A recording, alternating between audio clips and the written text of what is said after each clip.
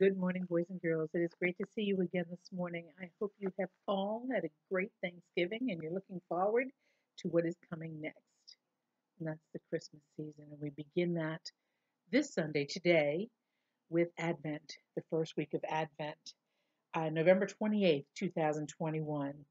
It is a wonderful time within the church. We begin with the purple candle, the prophecy candle, or some may call it the hope candle. The prophecy candle is the candle of hope. It symbolizes the forgiveness towards man, the forgiveness that God gives us. What did God do for us to show his forgiveness? Does anybody know? Anybody tell me? It was his son that he sent for us. Now let's go back over 600 years before the birth of Jesus. God spoke a promise through the prophet Isaiah. The Lord Himself will give you a sign. The virgin will be with child and will give birth to a son and will call him Emmanuel. 600 years later, only a handful of people were ready to receive him. Most were looking for a king, for a conqueror, somebody to come in on a horse with swords to conquer those who were holding the Jewish people down. They weren't looking for a savior. The prophet Isaiah goes on to write, He was pierced for our transgressions, He was crushed for our iniquities. The punishment that brought us peace was upon Him, and by His wounds we are healed. Boys and girls, do you realize that I said the words, these words were spoken 600 years before the birth of Christ? Now, why? How was that? How was that that happened? Was I, Isaiah was a prophet? Remember, we talked about prophets. Prophets of God brought messages to the people, to the kings, to everybody in the Old Testament from God. That's how God spoke to the people. God had given him the message of Christ, but the people weren't hearing it.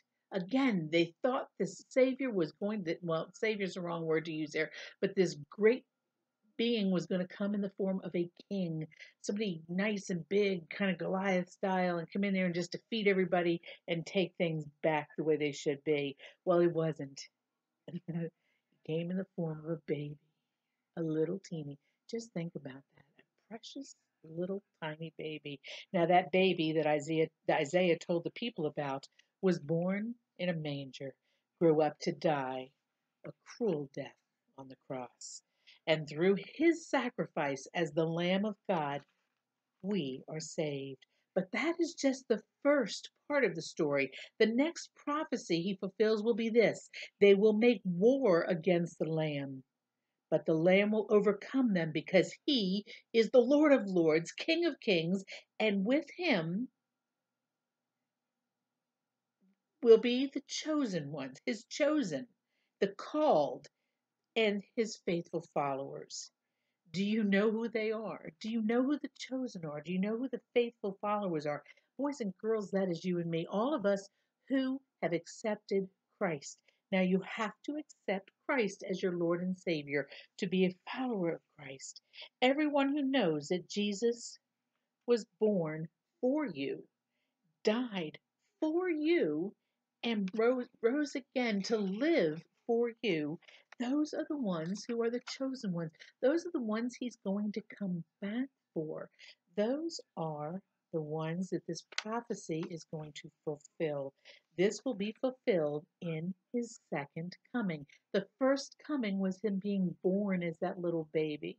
The second coming is when he's going to come back and take his followers home with him.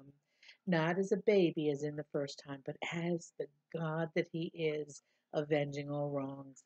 Now, we today we're going to sing a song in church. We sang a song in church, a verse of the joy, joy to the world. And in it, let's, let's hear the words in the first verse Joy to the world, the Lord has come.